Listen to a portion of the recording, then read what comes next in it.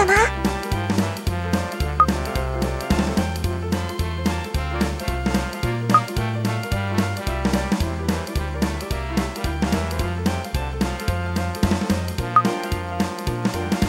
お話は分かりました。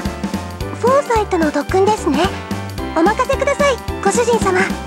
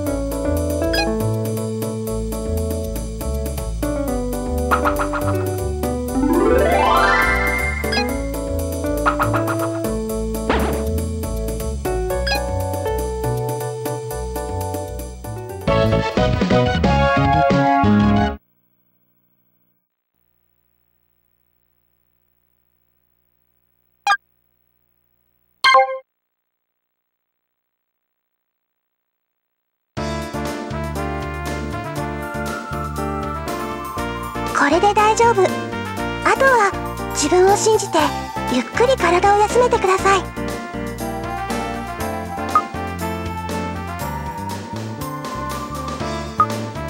どうかしたのですか？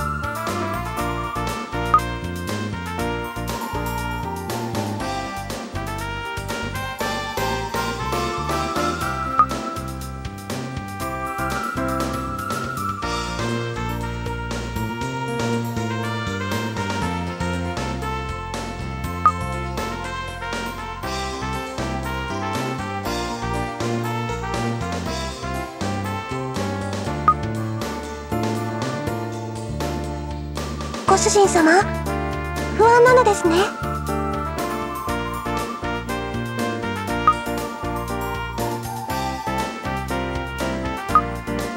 ご主人様お優しいのですね。お話に出てきた大工部長さんの身が心配なのでしょだから今まで以上に緊張なさっているんですね。その方に迷惑がかかるといけないと思って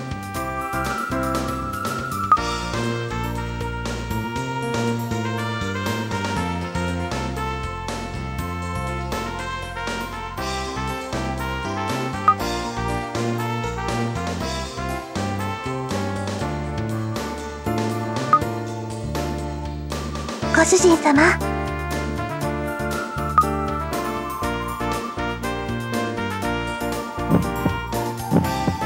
どうかご自分を信じてください。初めてお会いした時よりご主人様は強くたくましくなられました。体育部長さんを案じていらっしゃるのがその証です。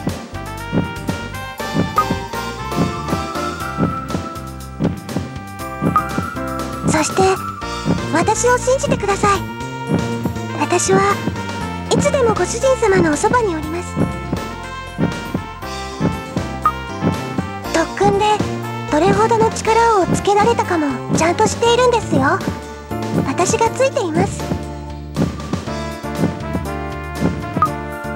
いざという時にはこの命に変えてもご主人様とご主人様の大事なものをお守りいたします。安心して少しお休みください。ご主人様。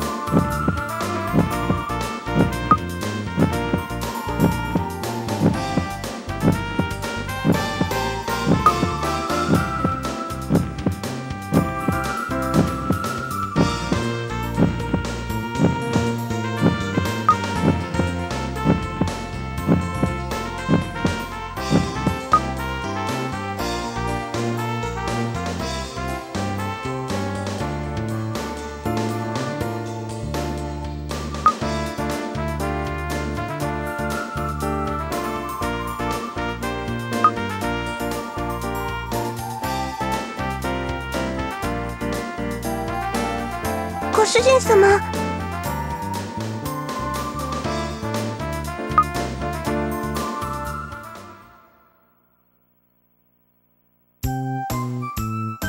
ああし失礼しました。ついそのお元気なかったので。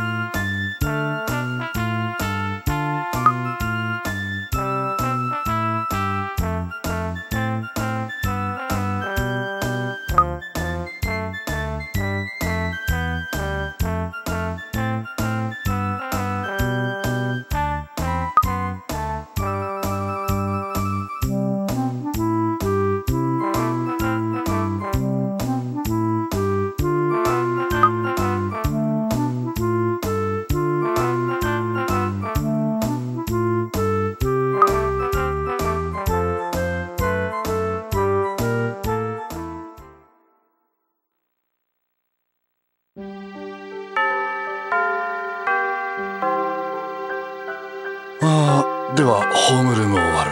クラス員号令。